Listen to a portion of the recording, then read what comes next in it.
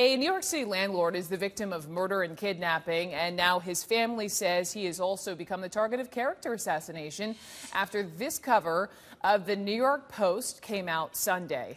You see the headline? Who didn't want him dead? Sits beside the face of 40, excuse me, 39-year-old Menachem Stark. Stark is the father of seven, and New York police have released surveillance video of his kidnapping. Watch closely here in the circle. Uh, it took at least two minutes for his kidnappers to force him into a van. This was Thursday, outside of his office in Brooklyn. Friday, investigators found Stark's burned body in a Long Island dumpster. And now the search is on for this van. As police try to learn more about how he died, the Post really did some digging into how the landlord lived. And when you read this article, it quotes a tenant organizer saying this about Stark. Quote, he pretty much ripped off the whole building. Stark's family and supporters say the Post headline glorifies Stark's murder. They have just held a news conference declaring a $25,000 reward for his killer nobody can describe the pain.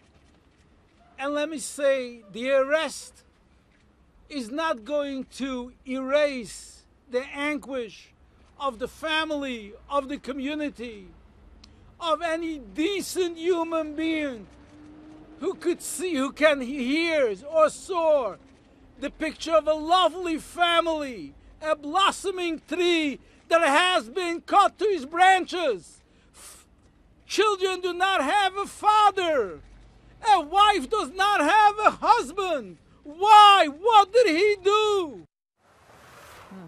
Joining me now, New York City Councilman Stephen Levin from New York, also with the senior media correspondent Brian Stelter. So, welcome to both of you. And Brian, let me just begin with you. Uh, let's take the story a step beyond this headline here. Tell me what we know, what happened.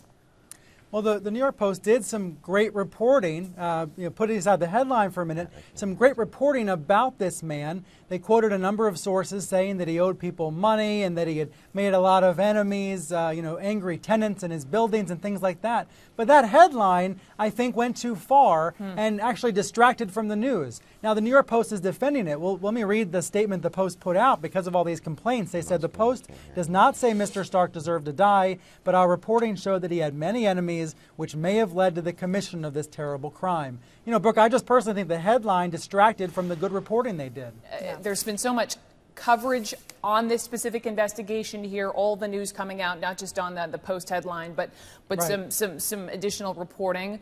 Um, do you think it's helping the investigation? The fact that this there's such a spotlight on this story there in Well, I think Brooklyn? it probably is. I think it probably is helping with the investigation. You know, the New York Post even wrote a story about all the outrage about the New York Post story, right. about the New York right. Post headline, which which is a kind of clever thing for tabloid a tabloid newspaper to do. We also saw the other competing tabloid here in the city, the New York Daily News, take some shot at the uh, shots at the Post. So even though there's this media angle here, it also, uh, I, I think, puts more attention onto the investigation.